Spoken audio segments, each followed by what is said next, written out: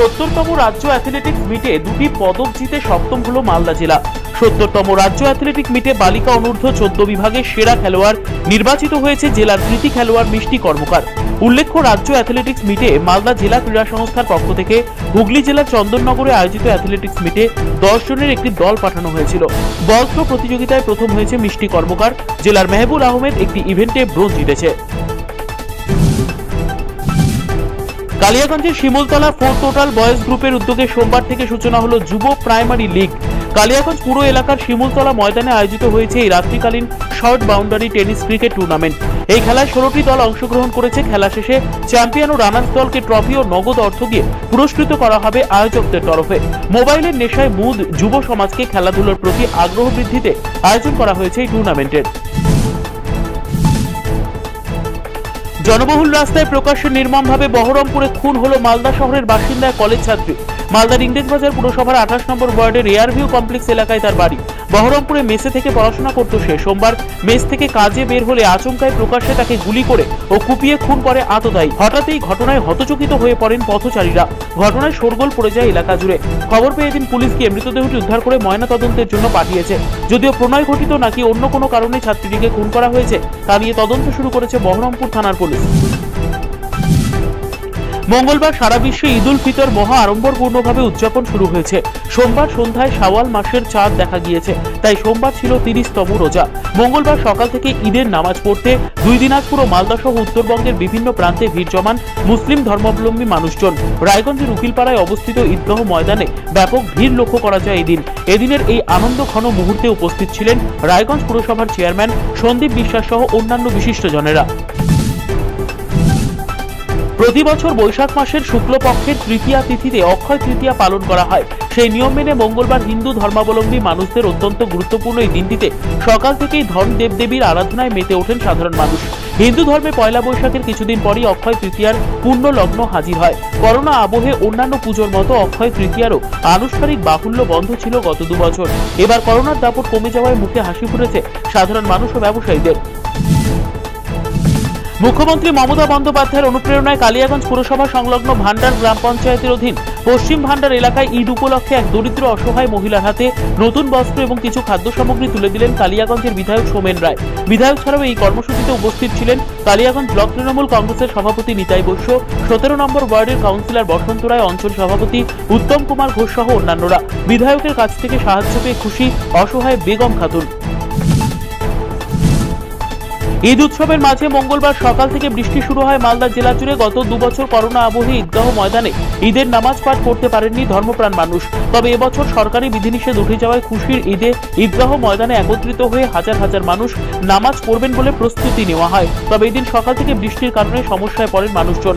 মালদা শহরের সুভাষপল্লী ঈদগাহ ময়দান এলাকায় পুরসভার পক্ষ থেকে একটি অস্থায়ী সহায়তা কেন্দ্র তৈরি করা হয়েছিল। কিন্তু বৃষ্টিতে সহায়তা কেন্দ্রটি ভেঙে পড়ে। ইংরেজবাজার পুরসভার চেয়ারম্যান কৃষ্ণেন্দু নারায়ণ চৌধুরী ঈদগাহ ময়দানে পৌঁছে কাজের তদারকি করেন।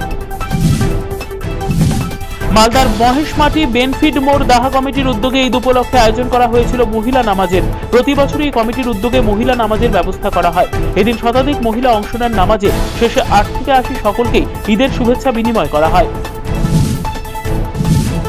ঈদ উৎসব উপলক্ষে মঙ্গলবার সম্প্রীতির মেলবন্ধনের চিত্র দেখা গেল চাচলের জামে মসজিদে। এদিন মসজিদের সামনে উপস্থিত হয়ে সকলকে ঈদের শুভেচ্ছা জানান চাচল বিধানসভার বিধায়ক নিহার রঞ্জন ঘোষ। আলিঙ্গন, ফুলের তোড়া ও মিষ্টিমুখ করিয়ে ঈদের শুভেচ্ছা বার্তা প্রেরণ করা হয়। উৎসবে মেতে ওঠেন আট থেকে আশি সকলেই। পাশাপাশি ঈদ উপলক্ষে চাঁচলের পীরের দরগায় চাদর চড়িয়ে সম্প্রীতির বার্তা দেন বিধায়ক। চাঁচল সহ পার্শ্ববর্তী এলাকাগুলিতেও ঈদের খুশিতে মেতে ওঠেন ইসলাম ধর্মাবলম্বী মানুষজন। উত্তরবঙ্গের সর্ববৃহৎ এবং রাজ্যের দ্বিতীয় বৃহত্তম কালিয়াচক থানার সুজাপুর ঈদগাহ ময়দানে ঈদের নামাজ পাঠ করেন মুসলিম সম্প্রদায়ের লক্ষাধিক মানুষ। প্রাকৃতিক দুর্যোগকে উপেক্ষা করে এদিন নামাজ পড়েন তারা। যদিও গত দুবছর করোনা আবহে সরকারি বিধিনিষেধের কারণে ঈদগাহ ময়দানে নামাজ পড়তে পারেননি মুসলিম সম্প্রদায়ের মানুষজন। এবছর সরকারি বিধিনিষেধ উঠে যাওয়ায় মানুষ ঈদগাহ ময়দানে নামাজ পড়তে ভিড় জমান। তবে ভোর থেকে বৃষ্টির কারণে কিছুটা অসুবিধার সম্মুখীন হতে হয় তাদের।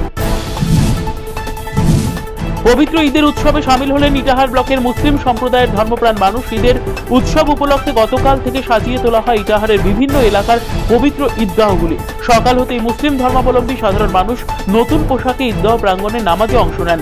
একে অপরকে আলিঙ্গন করে ঈদের শুভেচ্ছা জানানো হয়। উত্তর দিনাজপুর জেলার হেমদাবাদেও মঙ্গলবার উৎসাহ উদ্দীপনার মধ্যে দিয়ে পালিত হয় ঈদ উৎসব। এদিন ব্লকের বিভিন্ন ঈদগাহ ময়দানগুলিতে সকাল থেকেই নামাজ পাঠের জন্য ভিড় জমান ধর্মপ্রাণ মানুষেরা। শান্তি শৃঙ্খলা বজায় রাখতে মোতায়েন করা হয় পুলিশ। নজরদারি চালায় আইসি জয়ন্ত দত্ত। মঙ্গলবার ঈদ উৎসবের আনন্দঘন মুহূর্তের একই ছবি লক্ষ্য করা যায় উত্তর দিনাজপুর জেলার ইসলামপুরে, যেখানে সকলের সাথে সামিল হন ইসলামপুরের বিধায়ক আব্দুল করিম চৌধুরী, বিধায়ক তার ছেলে মেহতাব চৌধুরী এবং ইমদাদ চৌধুরী ও পরিবারের সকল সদস্য। ইসলামপুরের ঈদগাহ মাঠে নামাজ পড়েন। এদিন বিধায়ক ছাড়াও হাজার হাজার মানুষ এই মাঠে নামাজে অংশ নিয়েছিলেন। সকলকে ঈদের শুভেচ্ছা জানান বিধায়ক। পবিত্র ঈদ উল ফিতর উপলক্ষে ডালখোলা পৌর এলাকাতেও এদিন উৎসবে মেতে ওঠেন মুসলিম ধর্মপ্রাণ মানুষজন। ফুল মিষ্টি দিয়ে এদিন সকলকে শুভেচ্ছা জানান ডালখোলার পুরপ্রধান স্বদেশ চন্দ্র সরকার। একইভাবে শুভেচ্ছা প্রদান করেন মহকুমা পুলিশ আধিকারিক সৌম্যানন্দ সরকার ও সিমনোজিৎ দাস। চোপড়া ব্লক জুড়ে এদিন শান্তিপূর্ণভাবে পালিত হলো পবিত্র ঈদ উল ফিতর। এদিন সকাল থেকে বড়দের পাশাপাশি কচি কাচারাও খুশির উৎসবে মেতে উঠেছে। পুলিশ প্রশাসনের তরফেও শুভেচ্ছা জানানো হয় নামাজ পড়তে আসা সাধারণ মানুষকে। মঙ্গলবার সকালে চোপড়া ব্লকের সবকটি ঈদগাহে ইসলাম ধর্মাবলম্বী মানুষজন নামাজ পড়েন। নামাজ পড়ার আগে চোপড়া থানার তরফে প্রতিটি ঈদগাহে পুষ্পস্তবক ও মিষ্টির প্যাককে তুলে দেন পুলিশ আধিকারিকরা। উত্তর দিনাজপুর জেলার গোয়ালপুকুরে মহাসমারোহে ঈদ উৎসব পালিত হয়। গোয়ালপুকুরে নিজের এলাকায় উৎসবে সামিল হন। রাজ্যের মন্ত্রী গোলাম রব্বানি, এলাকার বিপরীত জামে মসজিদে নামাজ পাঠ করেন মন্ত্রী। সেখানে মন্ত্রীর পাশাপাশি পার্শ্ববর্তী দু তিনটি গ্রামের বহু মানুষ নামাজে অংশ নেন। এদিন সংবাদ মাধ্যমের মুখোমুখি হয়ে সকলের প্রতি ঈদের শুভেচ্ছা প্রেরণ করেন মন্ত্রী। শান্তি শৃঙ্খলা বজায় রাখার ব্যাপারেও এদিন বিশেষ বার্তা দেন গোলাম রব্বানি।